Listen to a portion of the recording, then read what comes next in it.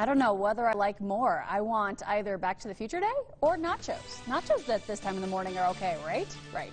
Well, we're talking about some snow hitting the high country at the moment, but will it affect your week? I'll have the details on all of that coming up.